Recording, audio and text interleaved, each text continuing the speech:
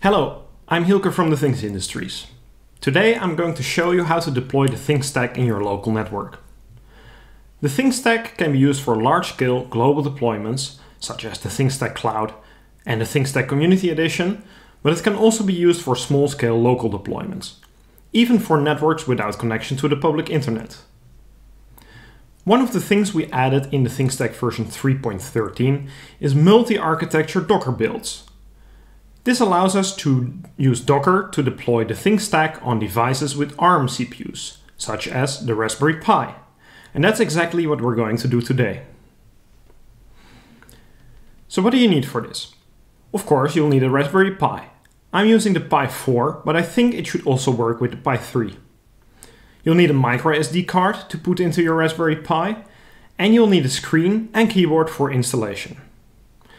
I'll be doing most of the work on my Mac over SSH, but it should also be possible to do these steps on the Pi itself.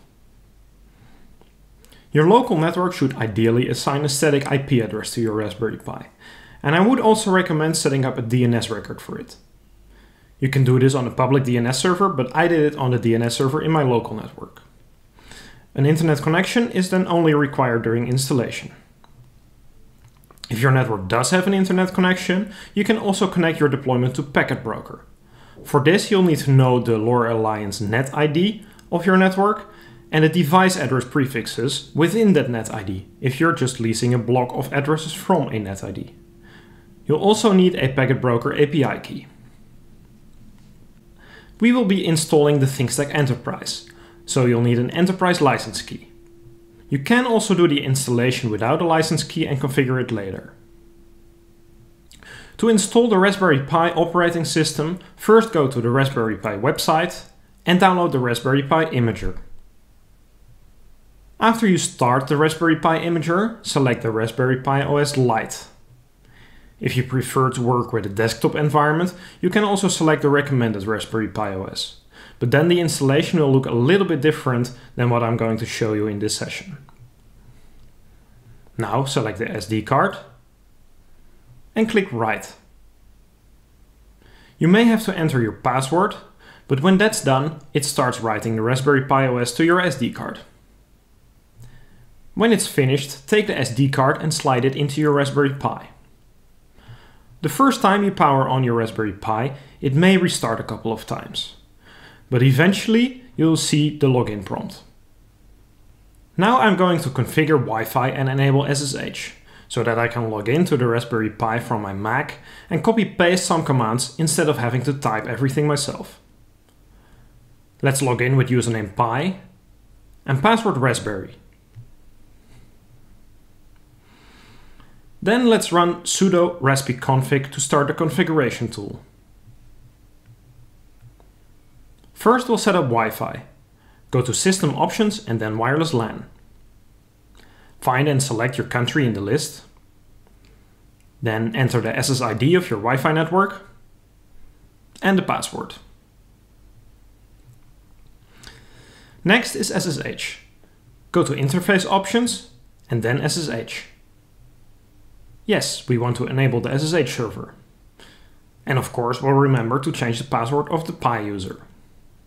Now we press Tab and select Finish to reboot the Raspberry Pi.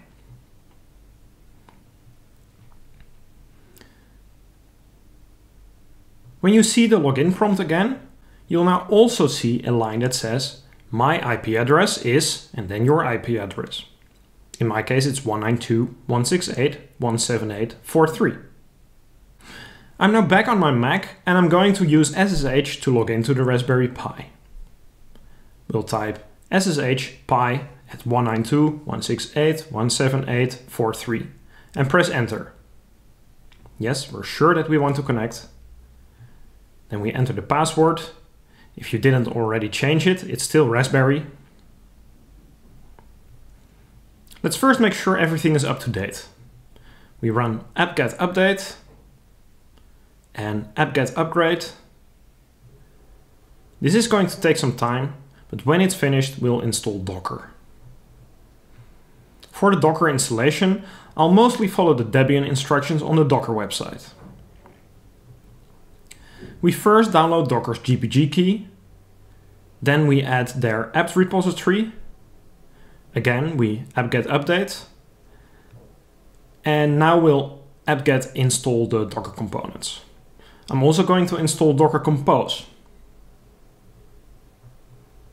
When this is all done, we're going to make sure our Pi user can run Docker containers. We create the Docker group, which apparently already exists. Then we add the current user to that group and load it. Now, if we run docker ps, we should not get any errors. Next, we'll install the Things Stack. We're going to create a directory where we can keep all the files. We'll then download the example Docker Compose file and make some changes for a specific deployment.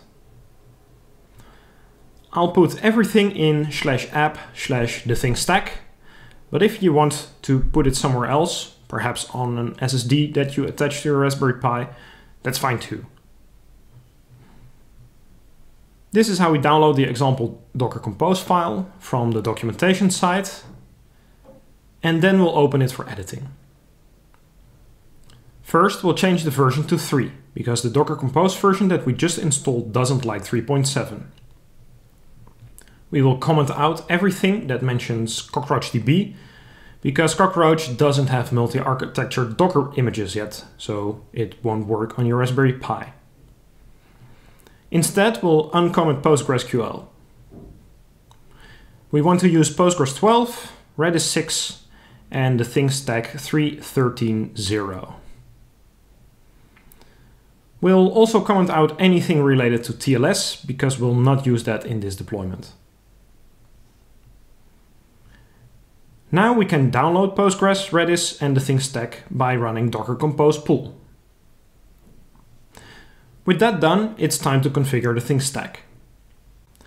For the hostname, you can use the IP address of the Raspberry Pi, but I prefer to use domain names, so I set up demo.thethingsconference.com in the DNS server in my local network. We'll generate random secrets for the console and for the device claiming server.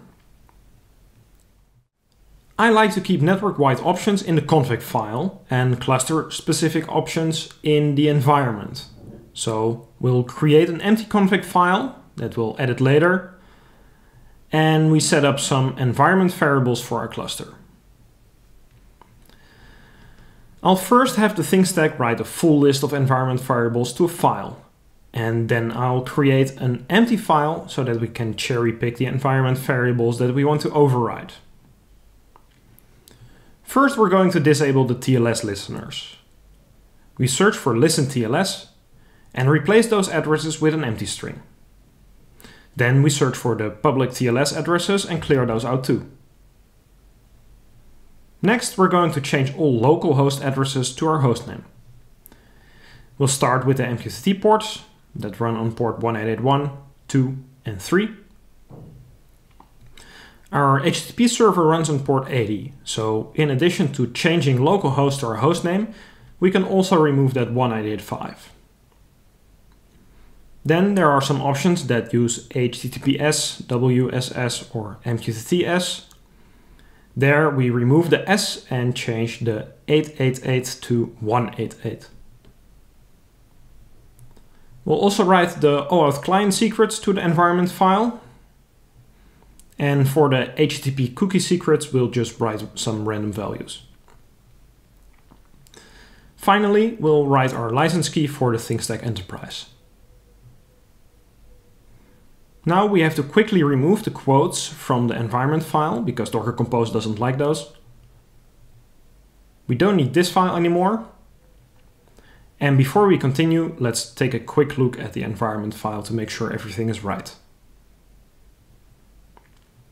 This looks good to me, but we still need to make Docker Compose aware of this environment file.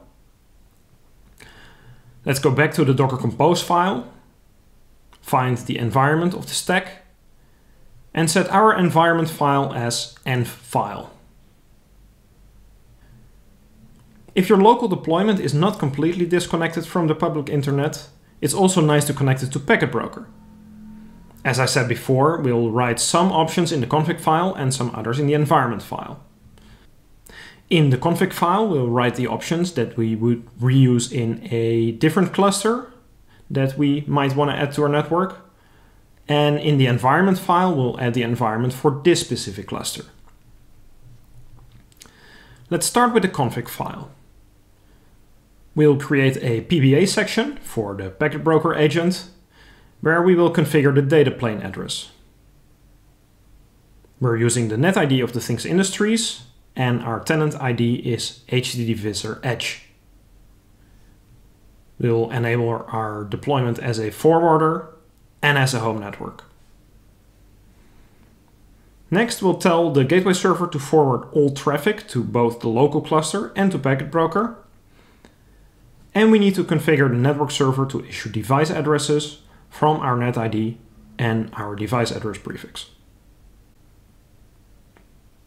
In the environment file, we need to add our cluster ID.